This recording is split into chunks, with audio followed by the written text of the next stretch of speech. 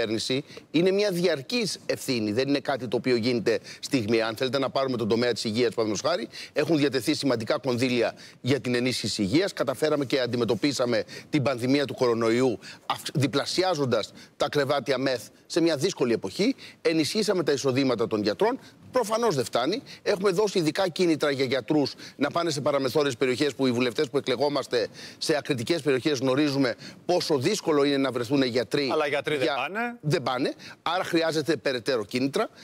Η, η ευθύνη της Νέας Δημοκρατίας είναι να ολοκληρώσει αυτή την τετραετία προχωρώντας ακόμα περισσότερο σε αυτούς τους τομείς που αφορούν την καθημερινότητα του πολίτη.